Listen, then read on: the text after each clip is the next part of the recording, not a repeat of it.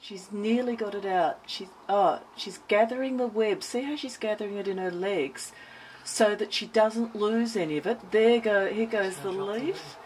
She's going to drop the leaf. She's got all of the threads so that she can redo her web.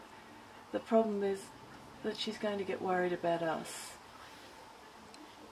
Ah, you beautiful creature.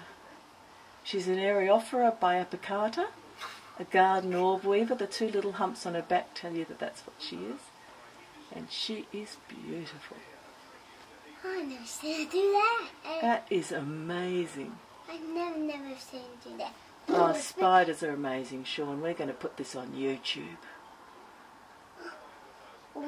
Here she goes to the next little. She's found another little one. She's going to get rid of that one. Windy day. She got leaves. Get rid of them.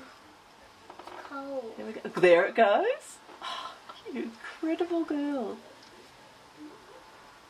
And there's some new threads. So she started the new web, and what she's doing is chewing up, collecting her old web, so she doesn't waste any protein. So she eats it. She's eating it and gathering it. She's probably got a little ball of it between her fangs, and then she'll suck it in and gather it.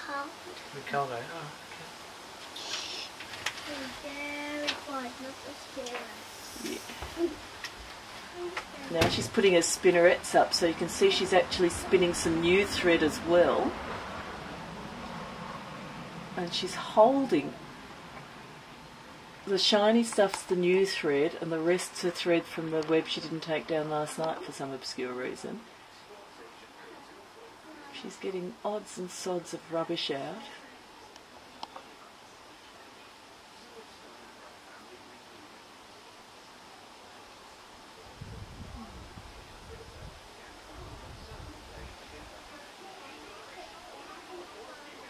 And she's holding everything with her hind legs so she can get those bits of junk rubbish out.